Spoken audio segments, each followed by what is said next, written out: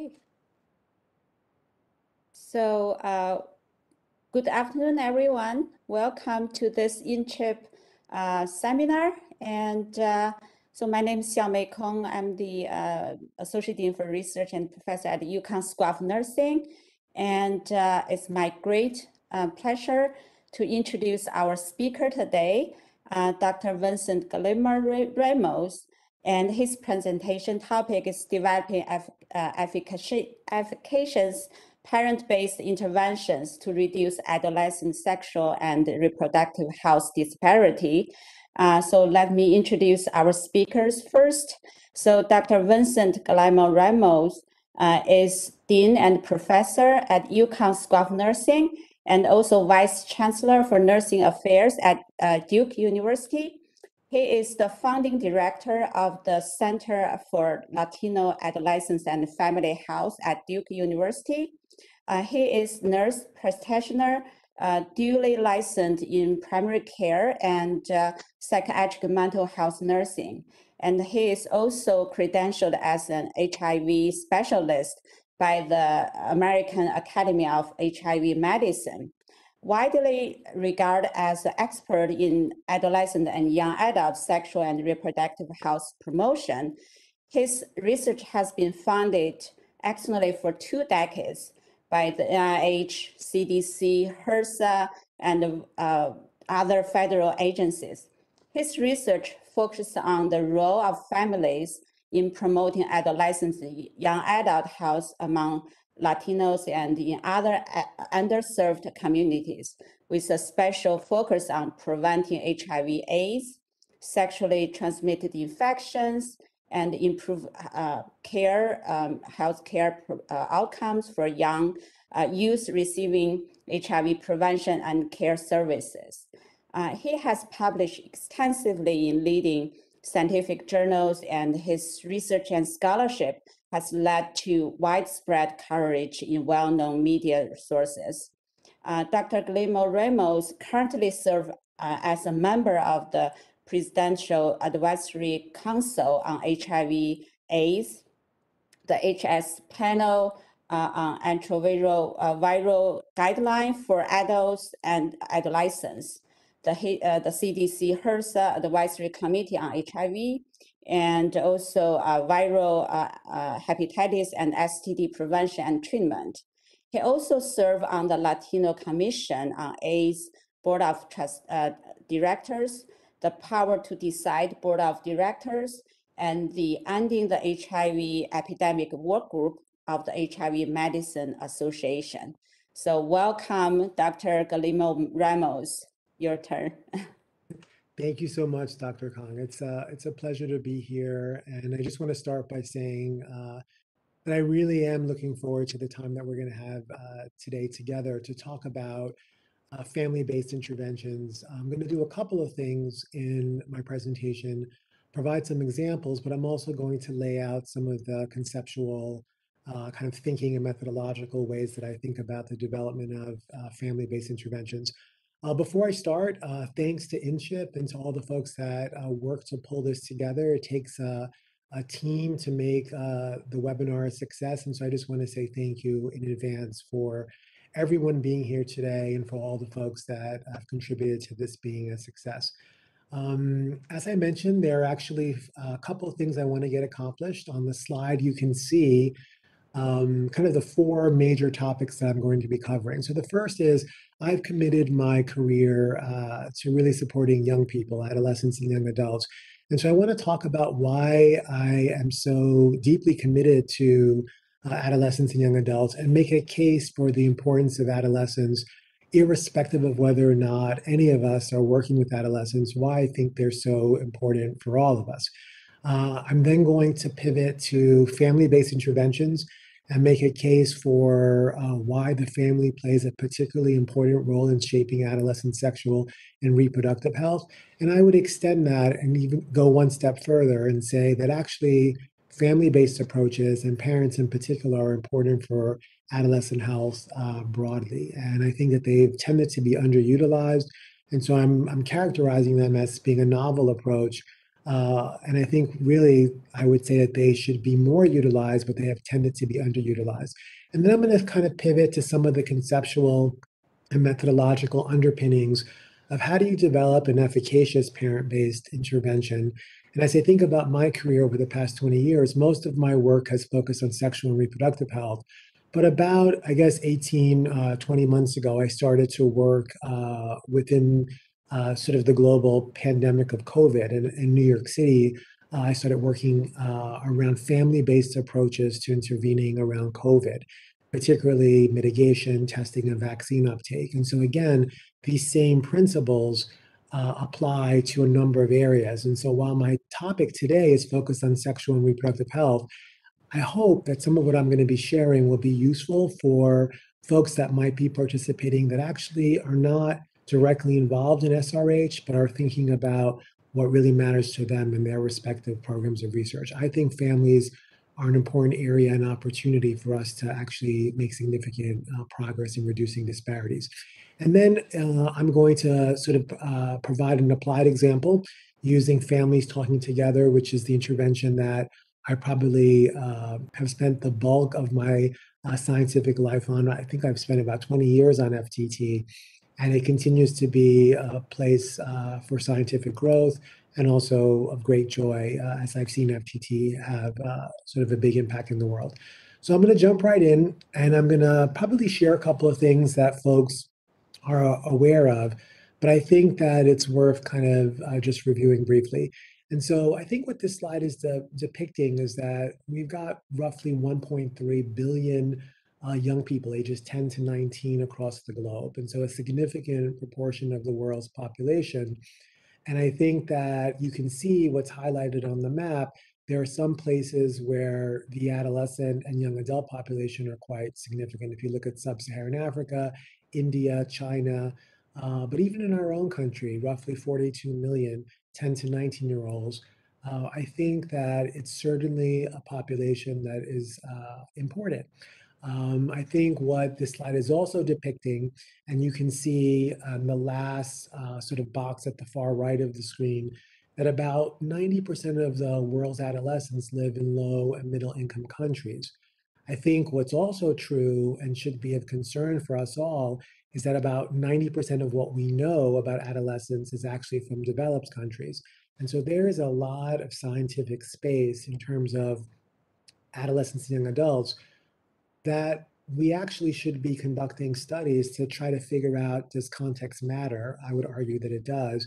And does the sort of extant literature on adolescence that primarily comes from the developed world, is that really uh, relevant for young people across the globe? Um, you can see here, I've sort of mentioned this already, that our country has roughly 42 million, about 13% of uh, the population. And I think the color coding, you can sort of see that it's providing a sense that young people are actually all over the country, and we would expect that. Uh, you can see from 2019 to 2050 that uh, we expect to have kind of a changing face of adolescence. And so in 2019, you can see that 54% roughly are white. Uh, you can see the remaining are Hispanic, Black, Asian, and other. But as we approach 2050, there's a shifting, and no surprise, increasingly the country, uh, particularly as it relates to 10 to 19 year olds, will be more and more diverse. And you can see in the lower right hand side of the slide, in 2050, nearly two in three adolescents in the US will be racial ethnic uh, minorities. And so I think that's very, very important. And in fact, uh, will be the majority in terms of the adolescent population. So, why do I care so much about adolescence. And why do I think that they matter so much for all of us, irrespective of whether or not our interests are uh, focused on adolescence? Well, this is a paper that appeared some time ago in 2016. It was in a special series uh, that was entitled The Lancet Commission on Adolescent Health and Well-Being. And there's actually four points that I've added to the figure. The figure is what you see in the middle. What's numbered is actually uh, how I have organized it and the meaning that I've provided in terms of how it relates to my, my own work. And so, one, I think adolescents tend to be largely uh, somewhat, I would say, overlooked in terms of uh, as an important population. And, and probably because if we think about young people, it's usually a time for the vast majority of adolescents that there's optimal health. And so, never at any other point in our lives will we be as healthy as the majority of adolescents. I mean, that's a time in our life when things are pretty much going well for the vast majority of adolescents. And I think what the focus has really been is that there are some particular adolescent problems and risks that have tended to dominate the literature. And so typically folks think of things like, you know, sexual behavior or smoking or drug use or mental health. And those are things that uh, are true. Many adolescents um, do well and don't experience negative outcomes, actually, the vast majority. But it's also true that if we think about some of the challenges that young people face, uh, there are some things that have been uh, appropriately the attention of our scientific uh, sort of inquiry and our development of interventions. If you look uh, at bullet point number two, or Roman numeral number two, I think this is one of the things that I so value in terms of adolescence. It's actually quite amazing.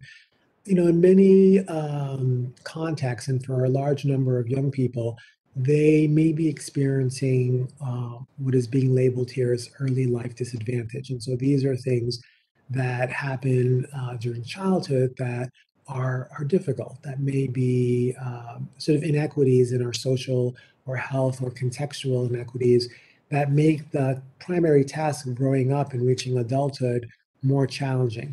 What's beautiful about adolescence is that this second decade of life is a time that there is a real opportunity for corrective action. And that's not to say that we don't change throughout the course of our life. You know, I'm 51 years of age and I'm still changing.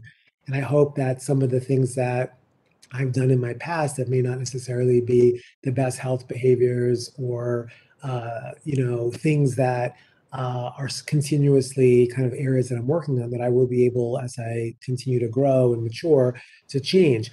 But never has there been a more opportune moment as the second decade of life between 10 and 20 to actually undo, correct, intervene in the cumulative early life disadvantages in that first decade of life. And that's a very important point that I actually think is uh, one reason why I do so much work with adolescents.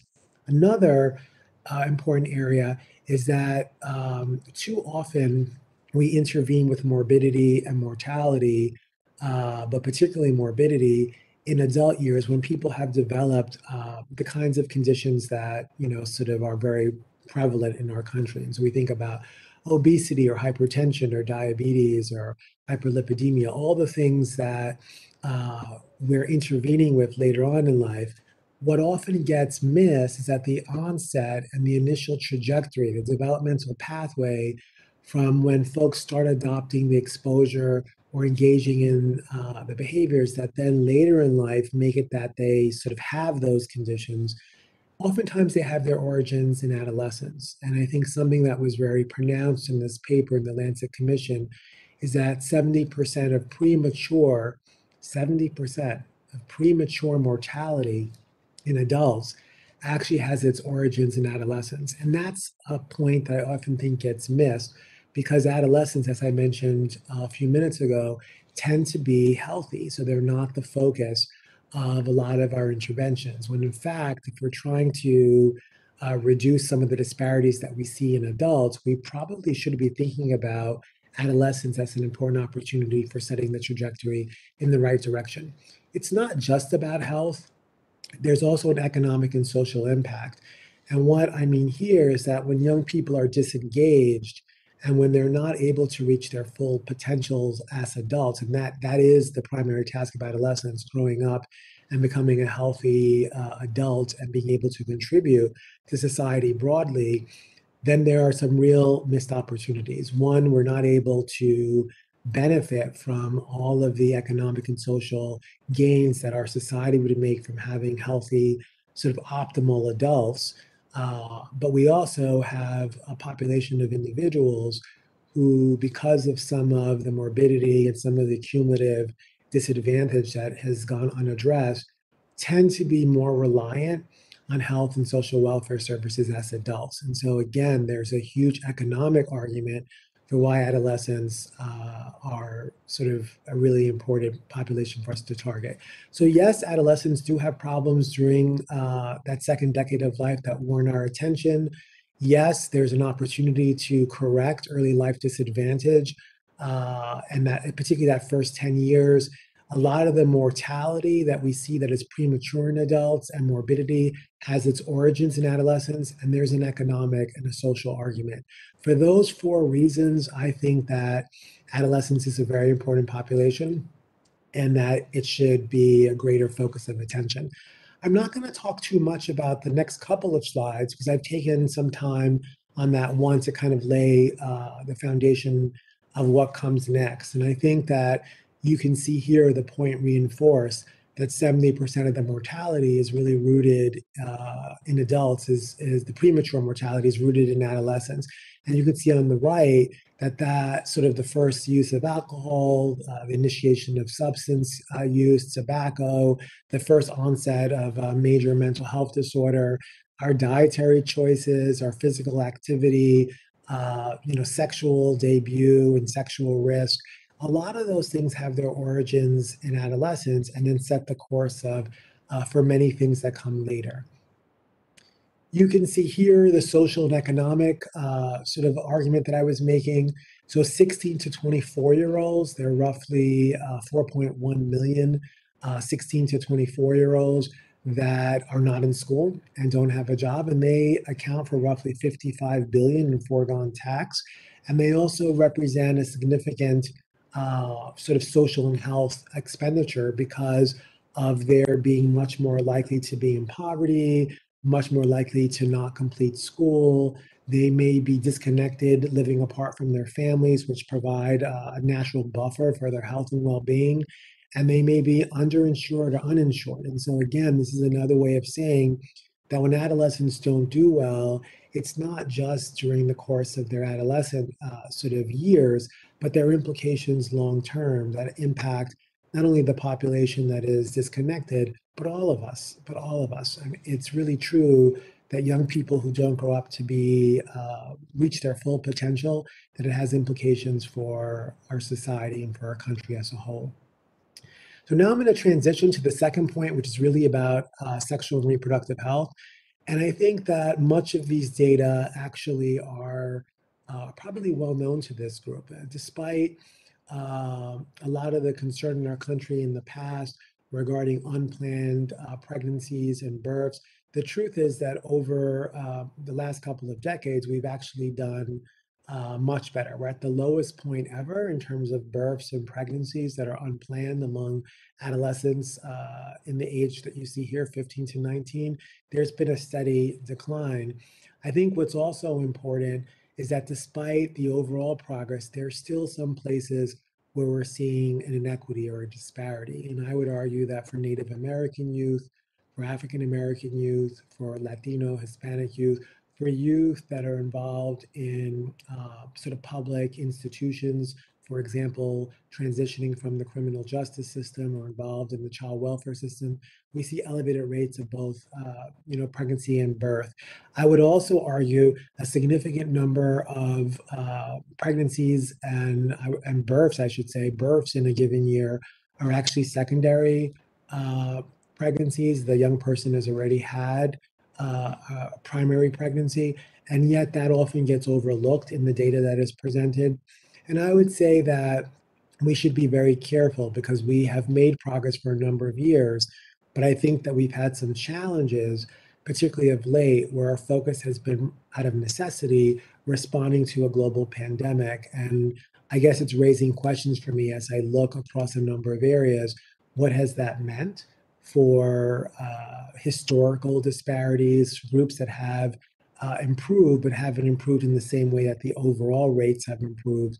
But even more importantly, is there any risk for us to have uh, some backward movement because we've been so distressed and preoccupied with, out of necessity, with COVID? I also will say that STIs, which as of late in the last, I don't know, five to 10 years, have uh, really been uh, of great interest to me. Uh, and so I'm thinking here beyond HIV, but really reportable STIs, um, gonorrhea, chlamydia, syphilis, and others. You know, STIs have reached uh, their record high in 2019. So again, the highest point ever, and it's the sixth year in a row that we're seeing increases. This has been, in many ways, what others uh, coined a hidden epidemic years ago with the initial National Academies of Science, Engineering, and Medicine report on the hidden epidemic. It still remains largely hidden. And I think if you look on the right, uh, you can see here youth ages 10 to 24 that they roughly account for 56% of the reported STI cases in 2019. So about half, a little more than half of all the reported STIs in a given year are among young people ages 10 to 24. That should be of great alarm because if we think about the overall uh, sort of proportion of people who are sexually active, and let's say all of those people were represented by four, uh, and so these four fingers that I'm holding up represent all the people in our country that are sexually active. Only one of them would be in the age of 10 to 24. And yet, half, more than half, of all the reported STIs in a given year are among that one person relative to the other three. And you can see here that minority or ethnic and racial minorities account for one and two of the new STIs. And the same comments that I made previously about other populations, whether they be sexual minority youth, uh, whether they be youth in public systems, uh, criminal justice, child welfare, etc. Uh, again, greater greater uh, burden of, of STIs. I think that uh, around young people at risk and living with HIV, you can see here that 20% of new HIV diagnoses occur in this group of 13 to 24.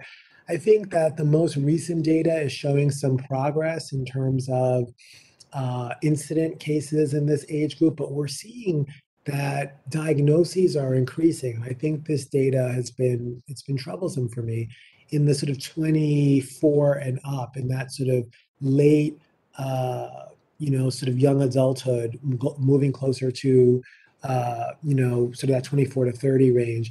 We're seeing significant increases, and Latino and Black youth account for roughly four and five of the new HIV diagnoses in this particular, uh, you know, sort of adolescent young adults uh, population.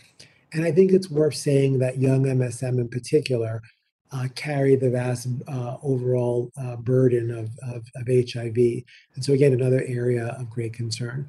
We have a national strategy on December 1st. My understanding is that the US will be issuing a new national strategy, a revised one. And I think that uh, the pillars of this strategy have been designed, as many know, to really think through how we can end the HIV epidemic in our country. For the purposes of today, I'm trying to argue that in terms of pregnancies, births, sexually transmitted infections, and HIV, that young people are an important population and that we need to keep an eye on the disparities that are uh, sort of very much pronounced among young people. In our country, because of the disparities that uh, I've just talked about, there have been a number of dominant approaches. And so uh, I work as a nurse, as a nurse practitioner. I'm still involved in clinical care of young people. And so happy to say that oftentimes there uh, are clinic based uh, opportunities where a young person may come in. Uh, upon uh, being exam- examined or through a sexual history, or there's something that is being picked up in you know sort of routine screening that suggests that the young person is sexually active. Uh, and so, one way that we've responded to the disparities is through clinic based approaches. Oftentimes, there are community based efforts where there are interventions that are happening in the community. Increasingly, there's social media, and there's public service announcements. Uh, there also have been things that have been environmental, like placing condoms uh, in places where young people can access them without necessarily having an adult uh, be the gatekeeper. And then for a long time, we've had school-based uh, curricula and, and sort of uh, comprehensive sex education in schools or some kind of sex education, if it in fact is offered, that uh, have been the basic tools that we've used as a country to address adolescent sexual and reproductive health. What's being depicted here, these are all terrific things, and I don't in any way want to suggest that we shouldn't focus on these things. These all have an important role and uh, and they they should continue. I think what I am going to argue is that they all focus on the adolescent directly, And I think what's different is that adolescence exists in a broader context. And one of the most important contexts is actually the familial context. And so, why does that matter so much? That matters so much because uh, young people have said time and time again that when it comes to important decisions in their life, including sexual and reproductive health, that their parents play an important role. There are also some other advantages uh, that actually are quite important that are different than uh, some of the dominant approaches that we've adopted as a country.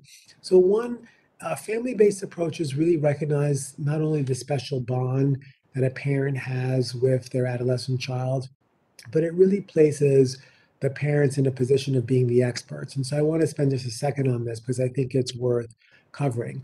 Uh, one, parent, uh, in my view, is not necessarily only the biological parent, it's the adult primary caregiver, the person who is in the parental role for that adolescent. Two, when I think about uh, being an expert, it's not necessarily that the parent is the expert on sexual and reproductive health. That's not what I'm conveying. Oftentimes, uh, many of us, uh, if we've not been formally trained, we may have significant knowledge gaps in what we know about sexual and reproductive health. But parents are the experts on their adolescent children. They know, the vast majority of parents know their adolescent children and have insights and influence that is distinct from some of the other mechanisms that we've relied on in terms of being able to reach young people. Information can be tailored. I think a lot of the times when we think about delivering interventions to young people, we have sometimes relied on a one size fits all. Parents can tailor information. Adolescents want their parents to be involved, and parents actually want support and uh, are motivated to keep their adolescent children healthy and safe. Timing can be ongoing and flexible. It's not a one size all fits delivery, nor is it a one time delivery. The kinds of things that we do with families actually have the potential for being enacted or implemented over time. Parents do have the job of being the primary socializing agent for the young uh, person. And again, there's a lot of sort of difference in our country around uh, values and around perspectives. And I think what's great about putting families and parents in particular at the center of that is that the interventions can take into account the value uh, the culture and the values of the family as it gets delivered. And I think I've made that point in the final uh, sort of uh, point that's on the slide around cultural and religious beliefs. You can see here from what previously was the National Campaign to Prevent Teen Pregnancy, now the Power to Decide, that for young people ages 12 to 15 and also for 16 to 19, that parents are identified as being uh, incredibly important in terms of major decisions, including for sexual and reproductive health. There's been a ton of scientific literature that supports this. This is not all literature, there's a lot more. I've taken liberty to uh, just uh, populate it with many of my own studies, but also studies that uh, have been more contemporary and um, but i could add a lot more to this. There are certainly many more people than what's on the right hand side. I think what's nice about this is that research has supported the important role of parents in delaying sexual debut in condom use in frequency of sex in vaccine uptake in hiv testing and also improved treatment outcomes for young people living with hiv uh, a lot of literature focuses on two domains structure and process I think that for my purposes, I certainly look at both uh, structure and process, but I've tended to focus more on process and, in particular, communication and how parents can communicate what they say, when they say it, how they say it, under what circumstances. Monitoring and supervision are there specific uh, parenting strategies that parents can invoke that actually are related to the outcome of interest. Um, how young people and parents feel about their relationship with their parent and then role modeling what parents are, are are modeling. There's been less attention to process more focus on structure although there's been significant development in terms of, of process in the last 10 or, or, or so years. Uh, i'm going to talk about development of efficacious uh, family-based interventions. So often folks will contact me and they'll say vincent we're working on this parenting program. What do you think about it? And i typically will say it sounds great there are four things that I typically uh, uh, sort of use as my lens for thinking through whether or not I believe the intervention will be efficacious. And you can see those four things on the slide. And so first, I have questions about how they developed the intervention. And so it has to do with the formative phase. How did they identify the target behavior? What are they specifically targeting in terms of their parenting approach? Also, uh, have they explored what is the best way of reaching the parents and issues of implementation and delivery of the intervention? Have they optimized? Do they have a strong theory of parental influence, of adolescent sexual uh, behavior, or whatever the outcome is? And have they linked parental influence to their theory of adolescent uh, sexual behavior, or again, whatever the outcome is? Um, how do they evaluate? The intervention? And are they able to not only identify whether or not it's efficacious, but the explanatory mechanisms, which I think is very important? And can we explain how it is that the intervention is enacting its influence on the outcome? And then I think that beyond uh, whether or not we have an efficacious intervention, and I think uh, in this case, let's assume that we do have an efficacious intervention, how do we then think about broad uptake of the intervention and how do we uh, ensure active dissemination? So I'm going to talk about each of these and I'll try to go fairly quickly because I, I realize we've got about about 10 to 15 minutes left and then I'd like to open it up for questions. And so I'm going to just pick up the pace a little bit because of where I am in my presentation. So the first is when I think about identifying a target behavior, I do probably much of what others uh, are doing. Uh, I usually will conduct an extensive literature review. I look for gaps. I evaluate the state of the science and I identify basic patterns of things that are clear, not so clear, and things that are absolutely unknown. I often will look at secondary data and data that uh, is available. And so I've tended to use nationally representative data where I'll look at relational forms, I'll sort of estimate effects, and start to compare what I'm learning from the secondary analyses to my literature review. And then I also typically will conduct some qualitative work, uh, usually with parents, uh, with adolescents, and then also with other key informants to understand what I'm picking up from the literature review and also the secondary analyses.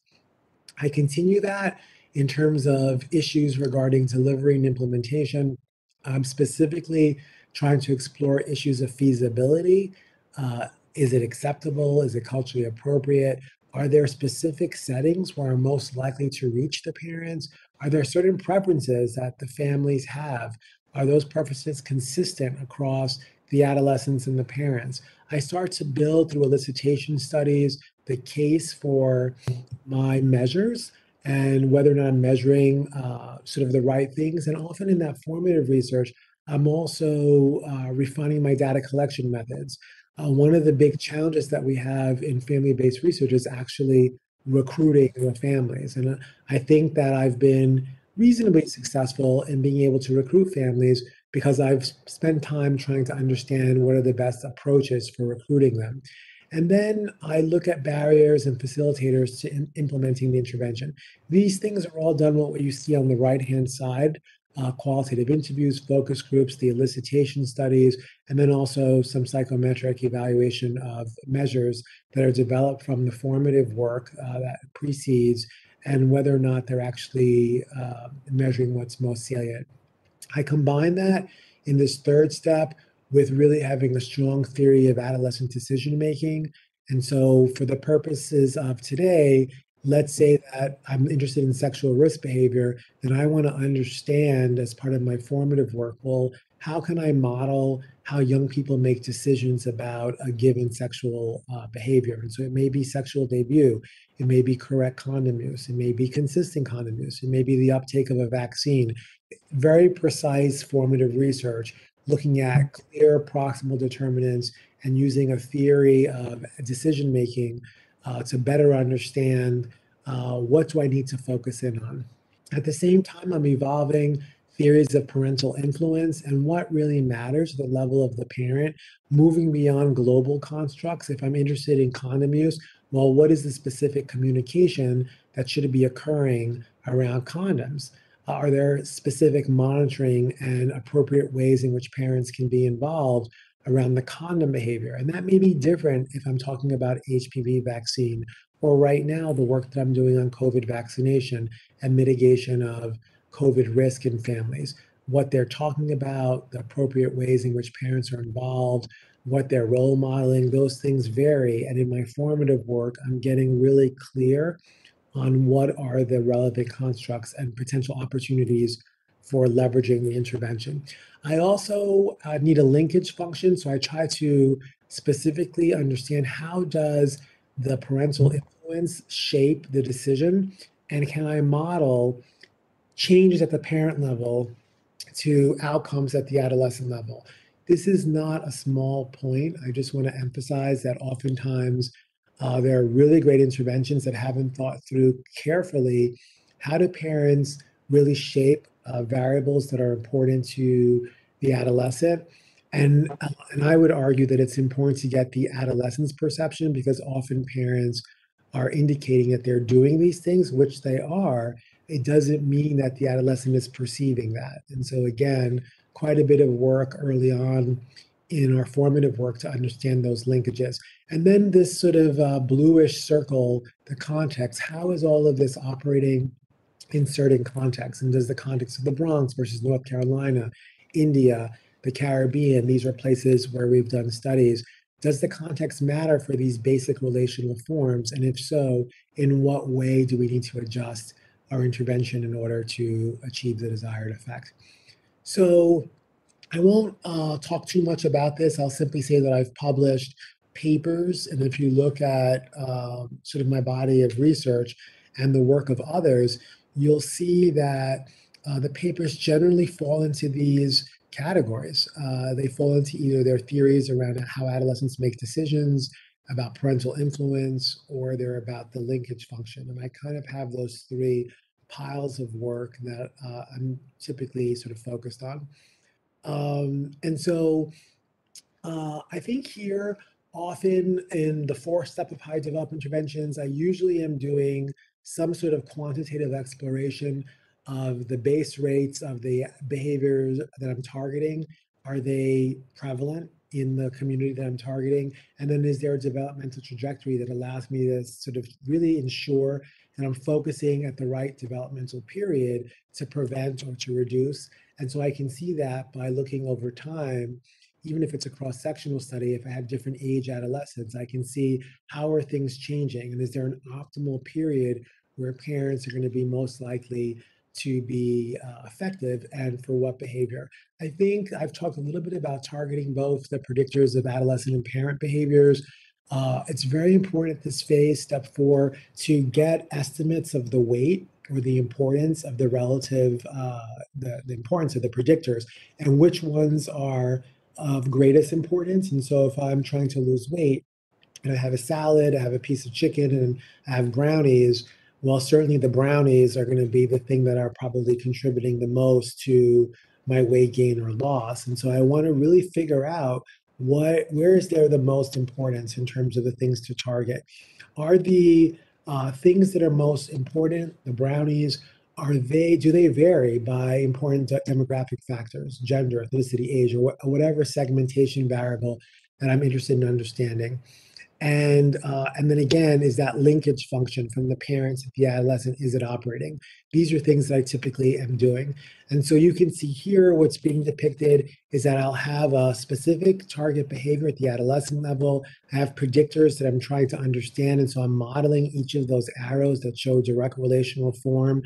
I'm also looking at uh, a parent behavior. So perhaps the parent behavior is communication about condoms. What kinds of things are predicting the condom communication and how does that communication in turn affect adolescent predictors and does it have a direct influence uh, that is not uh, sort of mediated by these adolescent level predictors but is operating independently so i model all this in my formative work to get an understanding of where am i going to find the greatest value in what I should concentrate on. And so when I'm doing training for my interventionists or we're going through fidelity, we're really emphasizing certain key components.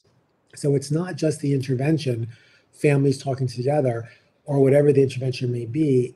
There's specific content that we know is the secret sauce of what makes it work. And it's based on these quantitative assessments of both the adolescent and the parent level. Um, a lot of what we do in our fifth step is that we evaluate the efficacy of the intervention. I think what we're doing here is that we are simultaneously exploring issues of implementation, barriers to recruitment, fidelity, uh, delivery, but we're also trying to understand if what we've optimized from our formative work in terms of the RCT that we're conducting in the actual trial, uh, is that actually having the desired effect? And if so, then what is the explanatory pathway? So that it's not just that we end up with a difference in uh, you know the experimental condition relative to some control condition but can we explain that? Or if we don't get a change between the, the two arms uh, then are we able to see that the mediators didn't change uh, they didn't change enough or what happened? And we typically are trying to understand that and that's what this figure is expressing that we may have a positive effect uh, a negative effect or no effect and so what i'm typically trying to understand is whether or not the mediators change in the direction that i wanted them to and if they did, what was the effect of that? And I, I think that's actually quite important. It's, it's something that I do fairly regularly. I spend a lot of time on these explanatory factors and really being able to understand the mechanics of how my intervention is working.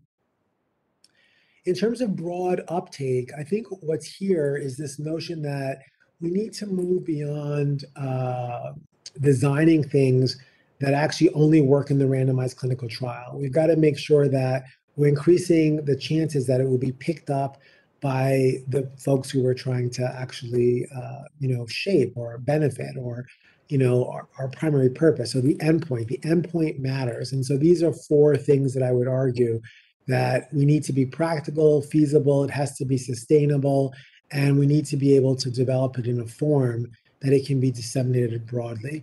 Uh, I think that our dissemination should not just be in scientific uh, publications. Obviously, we all do that. I continue to do that. I think it's important. And in conference presentations, but increasingly, particularly as I've been much more committed to uh, really having real world impact, I've been um, more and more uh, engaged in dissemination that involves what I would consider non traditional partners. And so, really reaching out to healthcare providers, nurses, doctors, other kinds of healthcare providers, key decision makers. And so a lot of work and a lot of time is spent with national organizations and also elected officials and governmental organizations that can help to take the advances that are being uh, sort of uh, identified in our science and, and they can really reach the, the, the real world. And then obviously through very targeted communication. So taking what's scientific and translating that into opinion pieces, uh, other forms of, of everyday language that any parent can pick up and read and understand uh, what the ma- the basic message is for you know implementing that science in a way that's practical and straightforward. So very quickly, FTT is an applied example. I'm going to go another three or four minutes, and then I'll stop and open it up for questions. So these are a number of studies that I've conducted over the past um, 20 years with FTT. And what you can see here, different populations, different settings. Um, and I would say most recently, uh, we've conducted, beside the trial that we're doing now, that's a digital trial, which is still in the field, we've done a clinic based evaluation that we published in 2020 in pediatrics. It had 900 parent adolescent dyads. It focused on condom use and sexual debut. It was uh, part of a clinic. It was what we call a triadic intervention. It involved a healthcare provider, a parent and an adolescent. And I'm going to talk about that very briefly. So FTT, the clinic version is the last one that was highlighted on the previous slide, is what I'm actually uh, going to use as the referent. Um, so it's a parent-based intervention that's designed to uh, really delay sexual debut, reduce frequency of sex, and for the clinic trial, it involved uh, condom use. And you can see here that in our formative work, we actually saw that parents really trusted their healthcare provider. Uh, adolescents uh, really wanted guidance from their parent. And so this was a natural uh, partnership. And so we implemented FTT Clinic as really a partnership between the provider, the parent, and the adolescent. It tends to focus on the disparity, where the disparities are greatest in the Bronx, where it was implemented. It was Latino and Black adolescents. and, and I've already mentioned uh, the outcomes. The components were a face-to-face session that occurred in the clinic. Providers were too busy to actually do the session, so we uh, identified in our formative research that we called it a provider extender. It was somebody from the intervention team that was placed in the clinic that actually could take advantage of the time when the adolescent was being examined to work with the parent and to deliver the material. There's a workbook uh, that goes to the family, and there's a session that occurred while the parent is at the clinic uh, that actually the parent is instructed on how to use the materials. The provider does have a role provider endorses the program and shares with the parent and the adolescent that it's really critical that they work on the materials that the parent was presented. And then there's a follow up call that is a booster call that just checks in with the parent and sees how things are going. So, um, a number of things actually uh, happened in terms of outcomes. I'm going to skip over this in the interest of time, and I'm going to sort of get to uh, kind of the main the main points. You can see here a little bit what was sort of the overall design of the study. Roughly 900 uh, mother adolescent dyads were randomized uh, to a four to one ratio. And you can see uh, that uh, there were 600 that were allocated uh, to the intervention arm and 300. So actually, I should say two to one ratio. That's actually a mistake there. My, my, apologies. A two to one ratio, 600 to the experimental arm and 300 to the control arm. And you can see what was included in the overall analysis, what the uh, overall attrition was under 10%, and there was no differential attrition between the arms. The conditions were comparable at the baseline. And you can see in terms of outcomes that we were able to decrease sexual behavior in the experimental arm relative to uh, the control arm. You can see that condom use was higher, and then some parent outcomes in terms of communication and also supervision and monitoring. The experimental arm was higher relative to the control arm. So things were working in the way that we thought they would work. Lots of lessons learned. I think for this study, uh, you know, we were able to identify an effect and then also what the mediators or the explanatory factors were. Uh, we were able to implement our intervention without disrupting the clinic, uh, which was very, very important. Um, and so, again, um, just thinking through many of those issues that I've highlighted in the first part of my presentation, which were about formative content. FTT has been um, widely disseminated across the country. It is on a list of evidence based uh, teen pregnancy prevention programs and we continue to work with FTT. We're actually doing a trial now that is a digital version of FTT that we're currently evaluating. We have expanded our work with uh, mothers to fathers. And a couple of years ago, we were actually in the New York Times because we were focused on the development of uh, father based interventions that were focused on how fathers could talk to their adolescent sons about, uh, about sex and some of the issues that young men uh, are facing. Uh, final thoughts just to wrap up. Uh, it's the year of the nurse. It would be uh, remiss of me not to mention nurses.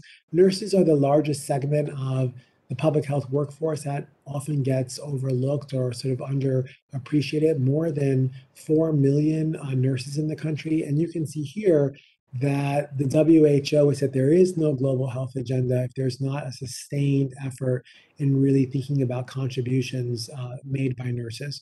Um, I am not going to say too much about this slide other than saying that a couple of years ago, a number of us uh, published a paper that was focused on what is it that nurses uh, contribute uniquely. And you can check that out. It's in uh, the, um, American Journal of Nursing, and it was published, uh, I forget, but it was a couple of years ago. Uh, this is actually very important. The NASEM report on sexually transmitted infections I was one of the folks who worked on the report, and I think there's a lot of terrific information. It's a follow up to the hidden epidemic, and it really raises concern about the problem in our country. And then also, there's a ton of information about strategies and things that we can do.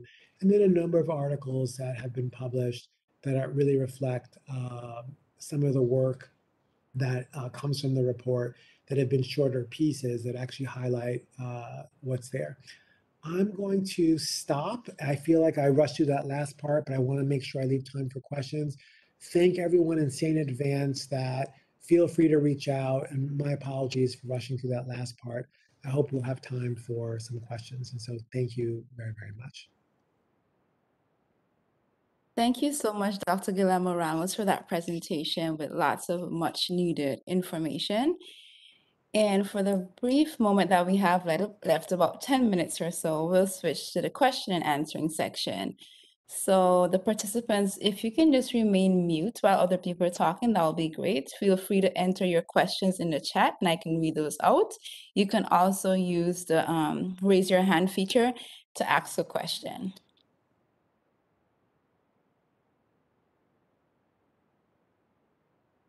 So Christina, while we're waiting for a question, I just want to acknowledge that I see that Eva Lefkowitz is on the call. And Eva Lefkowitz is sort of an icon in this area of family-based approaches. Uh, one of my colleagues, Laura Romo, was Eva's student. And Laura Romo is someone who I met years ago at the Center for AIDS Prevention Studies. And when I was in my formative years, we were reading papers uh, by Eva Lefkowitz. And so just want to kind of flag that. Thank you for sharing that. Eva has agreed to be one of my research mentors in a project that I am currently building regarding um, youth in foster care and their sexual reproductive health promotion and the role of caregivers in helping them to meet those needs. And Eva said thank you, and she enjoyed reading your work as well. Thank you. I have a quick one... question. Oh, I'm sorry, I didn't mean to interrupt you there, Christina. Um, I just wanted to jump in with a quick question. One of the things you said just kind of resonated with me because this isn't my research area. I'm in the weight management field, but fathers are often the forgotten parent in weight management. And, you know, a lot of the work focuses on moms. And we had a colleague here who has since left, but her focus was on, on fathers and the role that they can play in establishing healthy habits. Um, you mentioned some of your work with fathers and um, sexual health behaviors. And I'm just wondering, um, it sounds like families were receptive to the father playing a larger role in some of those conversations. Is that the take home there?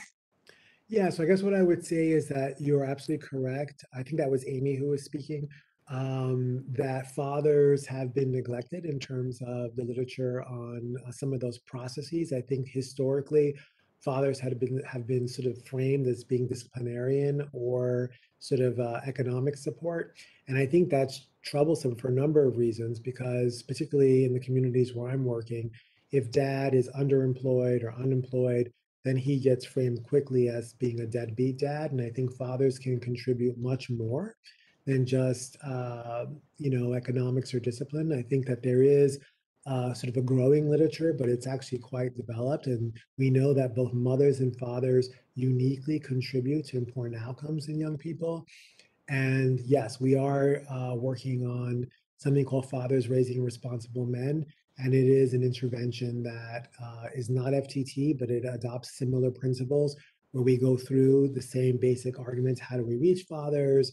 What are the relevant ways in which they can be involved in terms of processes? and that we're evaluating the effects of that intervention on adolescent boys' uh, sort of use of sexual and reproductive health services and condom behavior. There's a question in the chat from Kim.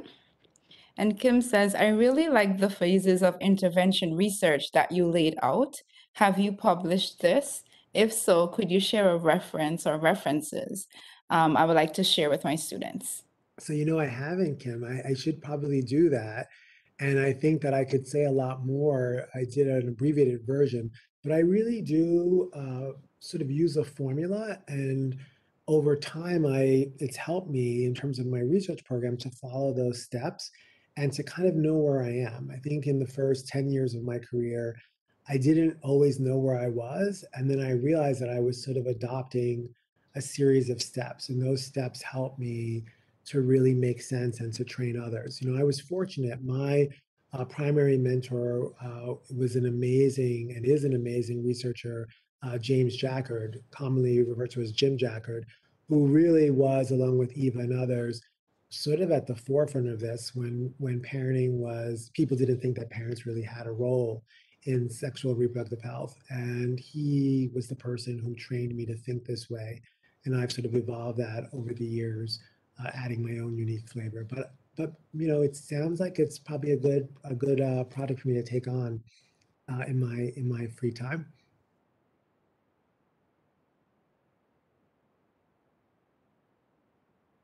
And Kim says she's seen the orbit, the ORBIT model, and what you like how yours at the intervention optimization piece. Yes. I mean, Linda Collins, who does a lot with MOST and sort of optimization of intervention, she was at NYU, and I saw Linda some years ago at an NIH uh, seminar, and she really helped me to also think about what I had been doing, but also the sort of three phases in her work and how she organizes interventions. And so I won't say that my work is most, but those principles of really trying to figure out how to make sure I have the right components and that they're optimized and then evaluating that, that that has been something that I actually strongly agree with.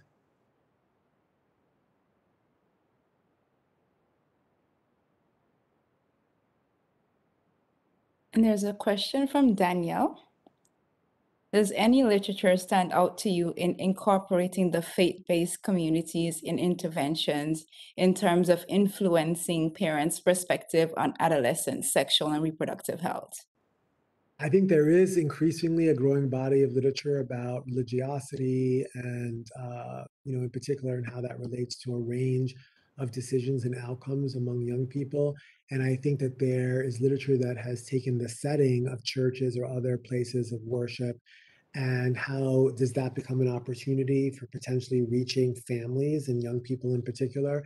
And I think that it is an important context uh, where if we can get more precision on what are the specific mechanisms by which the influence is enacted, I think the same principles apply. And so in the table that I have in my slides, I talk about school-based settings or clinic-based settings or community settings.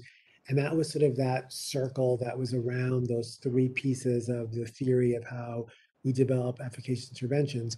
The, the faith-based community and particular, uh, whether it be a church or some other kind of institution, it's an, it's an important setting for thinking through how does it relate to those mechanisms and how can we optimize the effects given that setting. Thank you. Any other questions?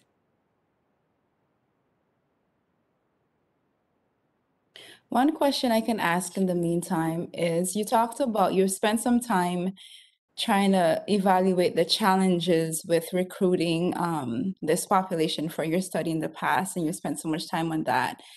For research involving foster parents, for instance, who work with children who are involved in foster care, do you have any suggestion on strategies on how you can target that population? Because there's so much um, stigma associated associated with caregivers in foster care, and how do you approach them for research without making them feel like they're just being evaluated or assessed? Great question, Christina. So I have three uh, brief ways of answering that. So the first I would say is that uh, I think that too often we only hear about the successes, and I'm guilty of that today because I have spoken about the success of FTT, but I have a different talk that's called Under the Hood. And Under the Hood uh, are, is a collection of things that went wrong when I was conducting community randomized clinical trials. And I love to give that talk because it's the reality of the challenges that we face and it gives people a sense of the challenges, the barriers, and then what we did to address that. So I think that more of us should be talking about the under the hood, not just the outcome that we get that looks great, but there's a whole story that I think is uh, important to share as well. There's a lot of science there, and I think more of us would benefit if we did that. The second thing is I would say that in terms of uh, best ways to reach families, I have done a lot of work uh, using area sampling methods. I go to their homes. I am literally recruiting door to door and my teams have been i've typically worked in urban areas where there's high density and so think of public housing so i'm going door to door and recruiting families and i do that for a number of reasons one because i want to get uh, sort of a generalizable sample that is representative of the community and not just people who are showing up in whatever the institution is and also uh, i love being able to have um, a certain amount of homogeneity in the samples that I'm recruiting. And, it, and it does help me for a number of reasons in terms of attrition and you know probably another talk as well why i'm doing that but i think the important thing christina is that i'm going into settings where there's a high probability that i'm going to be able to reach people. There's a lot of people and uh, and i'm thinking through how i can be uh, trustworthy and this is very nuanced. I'm not focused on uh, whether or not the community trusts uh, me uh, because then what happens is they become other and they then become the community that is we need to do something to get them to trust us i don't adopt that approach the approach that i adopt is what am i doing to be trustworthy what is my team doing to be trustworthy and how are we showing up in community as a trustworthy team trustworthy research trustworthy project and then how do we uh, then how does that relate then to people's decisions to uh, become involved? And I could say a lot about that, what that means, and the steps for doing that. I think, in a nutshell, uh, being trustworthy, in my experience, has resulted in much higher participation rates, and it's much more uh, beneficial than focusing on how do I get the participants to trust me. Thank you so much for that. I will definitely take a read of Under the Hood. Thank you. So we are at the end of our time, and I would just like to thank you again so much for that presentation. Thank you.